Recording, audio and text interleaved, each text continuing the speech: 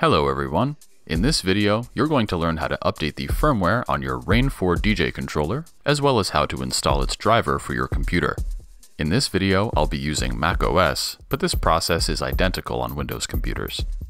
First, let's learn how to install the most recent Rane 4 driver for your computer. You'll need to know how to do this for both Windows and macOS computers. Head over to rane.com forward slash downloads and scroll down until you find the section titled 4. Click Download next to 4 drivers for your operating system, either macOS or Windows. Once the download finishes, double-click on the downloaded file to open the Rane4 driver installer. Follow the installation prompts to install the most recent driver on your computer. Once the installer runs its course, be sure to restart your computer to finish installing the driver.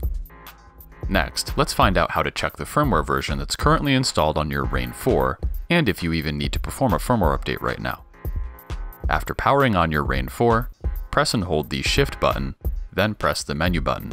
Toggle the FX parameter joystick downward until firmware is highlighted on the screen, then toggle the joystick to the right twice, and the screen will show you which firmware version is currently installed.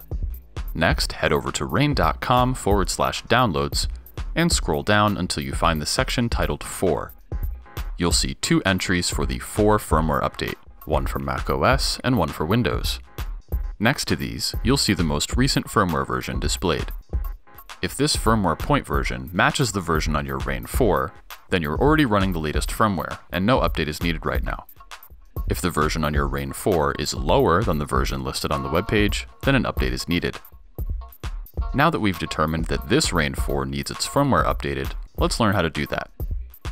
First, if you haven't already, connect your Rane 4 to a power outlet with its provided power cable, then connect it to your computer with its provided USB cable, and power it on. On the Rane.com downloads page, click Download for the appropriate Rane 4 firmware updater for your computer's operating system, either macOS or Windows. On Windows, the file you just downloaded is an installer for the firmware updater itself, so you need to run this installer before you can update the firmware. Double-click the downloaded exe file, and follow the installation prompts to install the firmware updater. Once the installation is complete, in the Windows menu, search for Rane 4, and open the Rane 4 firmware updater. On macOS, the firmware updater will download as a self-contained DMG file, so all you have to do is double-click it to open it.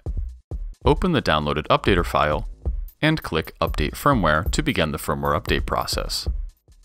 You'll see the jog wheel displays on your Rane 4 show that the firmware update is in progress. Be sure not to disconnect your Rane 4 from your computer or its power source while it's updating.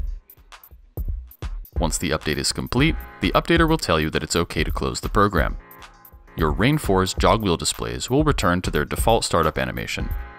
If we return to the firmware section in the menu, we'll see that the firmware has been updated to the latest version. So, now you know how to check for a Rane 4 firmware update, how to install it, and how to install its accompanying driver for your computer. If you're experiencing any issues with using your Rane 4, head over to rane.com forward slash support, where you'll find articles and FAQs in the Rane knowledge base, and a portal to reach out to the Rane technical support team for further assistance. Thanks so much for tuning in, and enjoy exploring the plethora of features your Rane 4 has to offer.